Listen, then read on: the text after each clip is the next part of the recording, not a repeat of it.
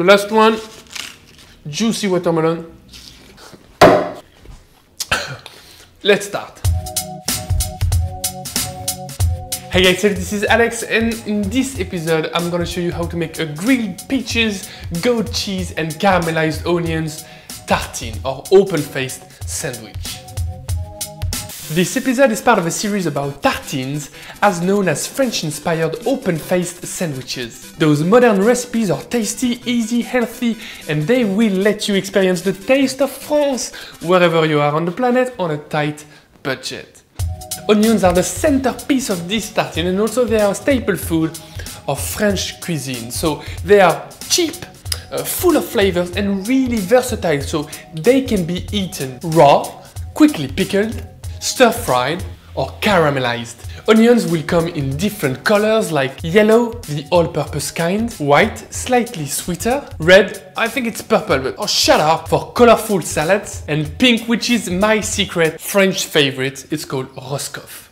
Deeply peel two onions, trash the skin but keep the outer layers to make stock or stews.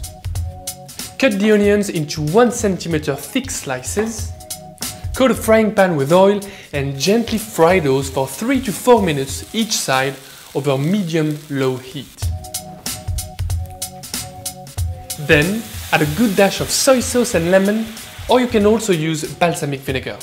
This action is called deglazing and it's supposed to unleash and unstick the caramelized bits, the flavorful bits from the bottom of the pan. Cut off the heat and let the onions cool down in the juices.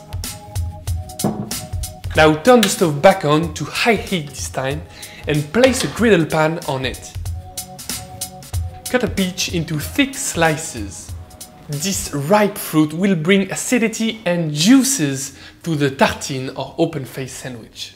Coat each slice with oil and a bit of salt. Then grill them for about 2 minutes each side. If you don't have a griddle pan, just use some good old frying pan and a Sharpie pen like tight budget, extreme measures.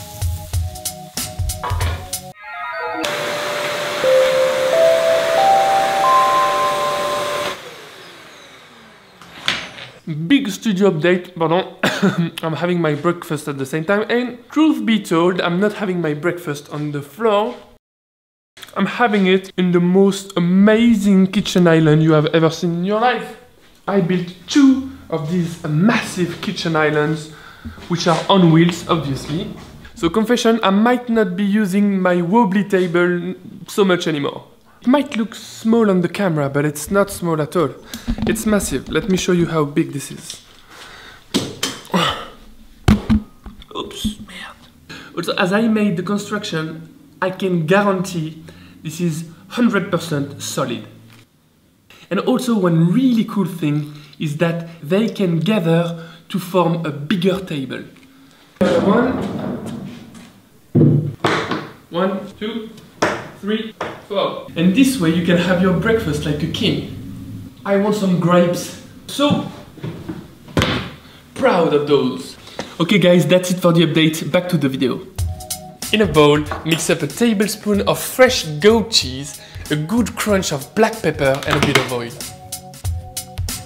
Goat cheese is a French classic and it can be found in almost every region. Soft and fresh, creamy and soft ripened, or even drier, strong flavored and aged. Although fresh goat cheese is the mildest one, if you dislike the taste, just go for cream cheese. Eh, do whatever you want. Just be free, man! Right, so all the ingredients are now ready, let's tackle the bread. Place a slice of bread on a griddle pan or in a toaster on medium-high heat for about 2 minutes each side. For the toaster it's uh, a nonsense. I am using a rustic loaf of sourdough bread. It's crispy and comforting with a fresh aftertaste thanks to the sourdough.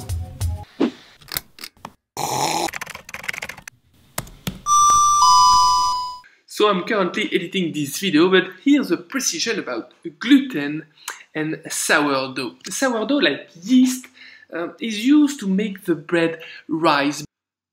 But unlike yeast, it makes the loaf easier to digest and also easier to handle for those who are gluten intolerant. so of course there is nothing more iconic in France than bread itself, but don't get stuck by that. I mean, don't get blocked by this ingredient. Use whatever local bread you can find. And if the feel or the texture or the crisp is different, then just embrace it. Like, for example, if it's a dense bread, then make smaller tartines and use more peaches. On the other hand, if the bread is light and crumbly, then toast it for a longer period and go easy on toppings.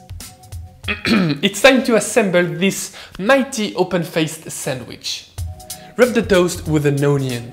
So as you can see, I'm not using the classic garlic rub for mainly two reasons. First off, because I can, and also because garlic would be too strong regarding the other mild and soft flavors. Now smear a good layer of goat cheese, add peaches and onion slices, top it up with spring onions, sesame and more black pepper. Grilled peaches, caramelized onions and goat cheese tartine. Bread is bold, charred and crispy, but slightly still chewy in the center. Onions are sticky and rich and a bit crusty on the outside. Peaches are soft, juicy, sweet and a bit tangy. The goat cheese spread has that distinct goat flavor, but it's really kept on the soft side. Trust me, you really feel French vibes when you bite into it. Okay, it tastes good, it looks good, but what about the calories? And the money? Let's do the account, shall we? So money-wise, we brilliantly stay at 1.01 euro, which is uh, 1.15 US dollar, or a ridiculous 0.79 British pound. All the prices and details are in the description box down below. Now in terms of calories, it's really on the low side. I mean, a whole tartine, like a big one like you saw, is at uh, 380 calories. I believe it's fair considering the fact that with a bit of salad on the side, it's a full lunch. So at the end of the day, a tartine is nothing difficult. It's just selecting the right flavors and balancing them well. I really hope you like this recipe and that you will give it a try at home. Uh, if you do, please share the result on social media. It's always good for me to see that. If you do, use the hashtag spread it like butter. Take care guys, bye bye, salut.